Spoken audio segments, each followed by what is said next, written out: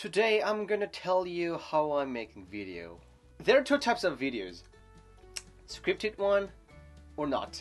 This one is scripted, but not this one. Scripted one is more like explaining something information.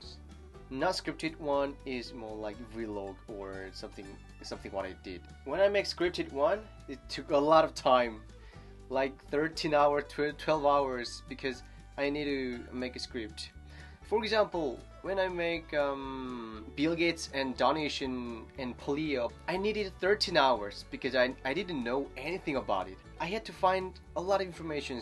Uh, I had to Google it and I had to search from YouTube and Netflix and Wikipedia and something like that. It took five hours for making script. And taking videos actually was not that hard. I needed just one hour because I I have script. I need to just talk and I, I need to just read it like this. And 75% of cases were from Africa. And getting clips. It took three hours. I had to find a video and pictures. I cannot make like this story with this video. So that's why I need a lot of times for this. Cutting. It need four hours. I have to think a lot like where should I put this video to where? And I have to make subtitle. Making subtitle is not that hard, it needs just an um, hour. And I have to find BGM for this.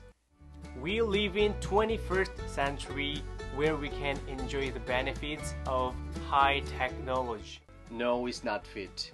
And enjoy the benefits of high technology. People made a reusable. Yeah, it's perfect. When you finish it, you have to export. And you have to check again. If there's no mistakes, then upload it. I have to upload on Instagram, Facebook, and YouTube.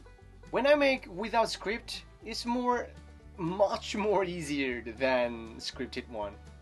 But I really prefer to make scripted one because it's it's better. It's more like meaningful. So when I make this video, I need 12 hours or 13 hours or over than that.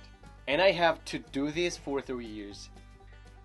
First, I should prepare this tripod.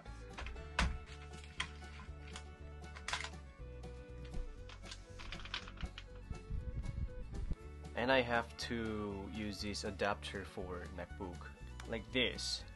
Let's do it. Let's do it together.